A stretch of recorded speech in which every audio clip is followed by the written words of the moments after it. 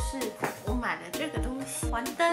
我觉得因为我的房间呢，就是阳光比较不充足，只有夏天的时候阳光比较充足，冬天的时候可以说都是阴阴的，所以我就是如果要拍片还是拍产品的时候，觉得很不方便，所以我就是买了一个环灯。然后因为我之前在淘淘宝那边看了很久，但是我就觉得说那么远寄过来，然后又没有没有办法保护维修，这样送来送去很麻烦，而且运送过程我觉得很害怕，就是淘宝通常寄过来的那个包裹都烂烂的，所以我就一直不敢买。在台湾前几天找到了这个卖家，然后我现在来开箱给你们看，就是这个是脚架，然后这个是环灯本人。好，那我就先来开箱。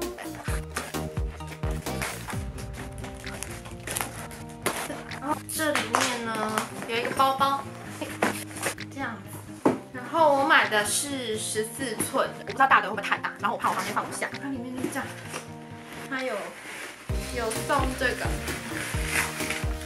就是暖光的遮片，还是叫什么柔光片吧？然后还有白色的，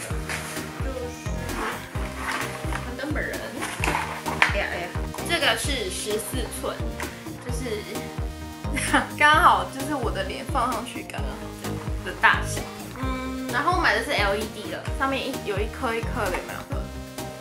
我先把里面的东西通通拿出来。两条线，这应该是电源线。它还有送可以架那个手机的，还有相机的这个卡准之类的。我觉得这包还不错哎，就是可以带出去很好用。再就是拆这，不用拆就直接掉出来了，这样子。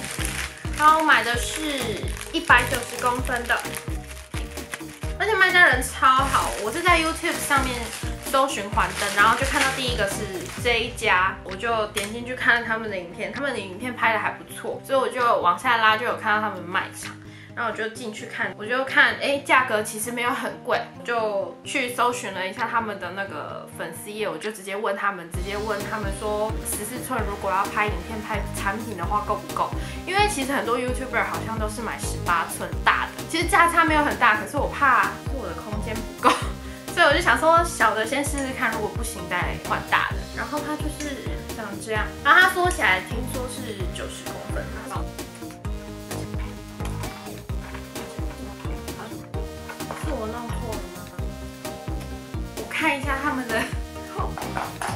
片好了。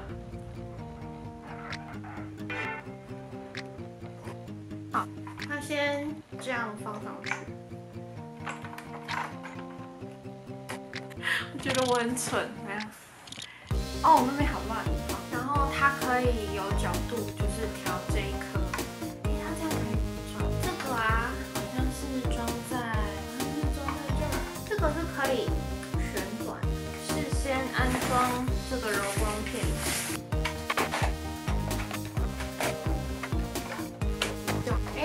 先装上面吗？它有个把手，然后装起来就大概像这样。哦，这个它可以变这样，就是把它转开的时候，看一下，我把你们弄高一点，很蠢，所以这个应该是从这边装上去，这样缩紧了之后就可以固定相机，就变这样。还有一个这个，对，哦，所以可以固定手机。哎，它这边有两个孔，这边一个孔，这边一个孔，所以有很多种安装上去的方法。像这样的话就可以直播之类的。哦，因为我后面有这个，所以我弄后面这样，像这样就可以直播。现在来插电，因为它这边有一条电源线在这儿儿。这里，好，我接上去了。灯的话是，呜、哦，好亮。然后它可以调节亮度，蛮酷的。可是我就是把它弄歪歪的？大概是这个样子。所以呢，如果说，哦，超光线超好，你们看，如果说是这样，这样看起来有点蠢啊。而且这样的话，皮肤变超好哎。如好笑，先拍起来。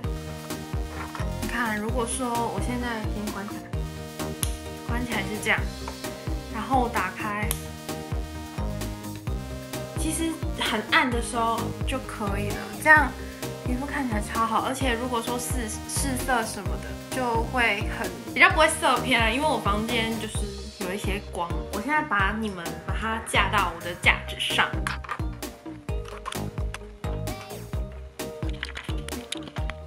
到最亮但我觉得好像为什么这个锁不紧？哦，好像比较紧。哦，我懂了。好。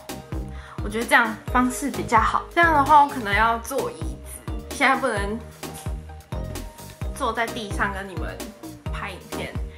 看起来就是这样，有吗？然后地板有点乱，好。然后它还有那个黄光的，我来装一下，看起来有什么差别？然后拆掉喽，看看没有没有雾光的时候，感觉是怎么样？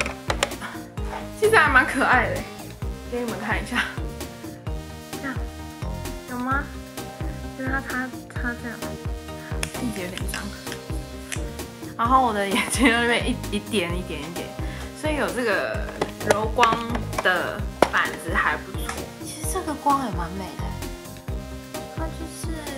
较黄光一点，但其实这个的话装上去还是看得到那个一点一点的。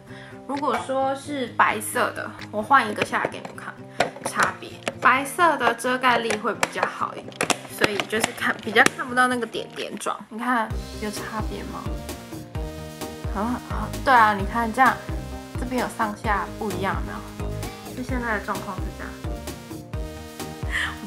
好笑。以这个状况来讲呢，我觉得我比较喜欢白色的，所以我要用白色。装好了灯的。效果就是这样哦，这样真的太亮了。那个这样我觉得比较刚好一点，这样真的有差哎，不用受我的灯光影响，但是可能就是不能戴眼镜拍影片。但是我觉得有一个困扰是不能再矮了，因为我有时候会拽。好，那我现在把它调高跟你讲，所以大概就是这个样。然后它这边也可以，就是它可以调整它的前后。这样真的太低了，一点点高。但其实应该要弄正的啦，我觉得有点恐怖。我觉得它最小的就已经很足够了，还好我没有买大的。好，今天我戴眼镜，眼镜实在是有点不是很 OK。希望今天的分享对你有帮助，如果有帮助的话，记得帮我按一个 like。新朋友记得订阅我的频道，那下次见喽，拜拜。